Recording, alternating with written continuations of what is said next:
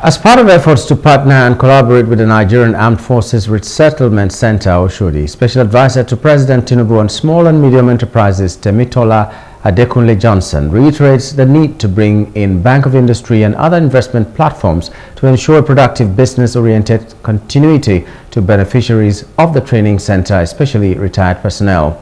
He said this during his visit to the center on Monday. Also, the commandant of the center, Air Vice Marshal Denitis uh, Denishola also welcomed the idea of partnership and high-powered machines to ensure productive and effective training for trainees. Some of these things that you have listed in your areas of um, required support, some we can start as early as yesterday. The issue of CAC, once they are done their training, let's know um, let's have those that are interested in going to their own personal businesses. Let's have their names and let's have one, two, three of their preferred business names. Forward it to our office. My team will take it to the CAC registrar with a letter and they will come to you guys and register those things. Sponsorship. Sponsorship during graduation.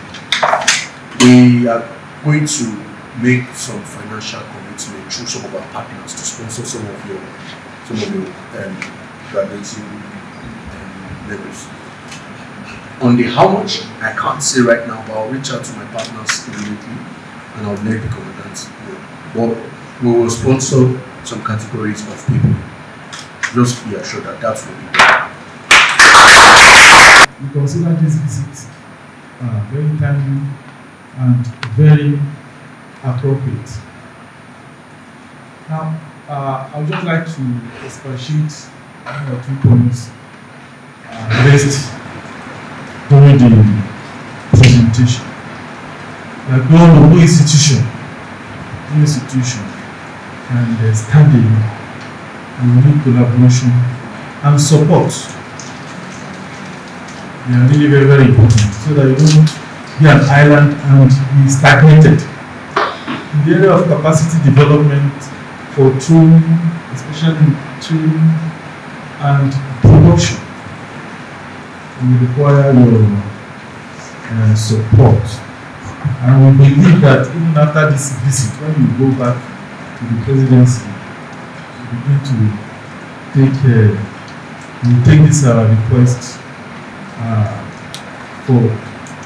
Of course, there is nothing we do here without the authorization of the Chief of Defense Staff, General C.G. Musa, OFR. Informed him about this visit and uh, was glad about it and has given his blessing. Hello. Hope you enjoyed the news. Please do subscribe to our YouTube channel and don't forget to hit the notification button so you get notified about fresh news updates.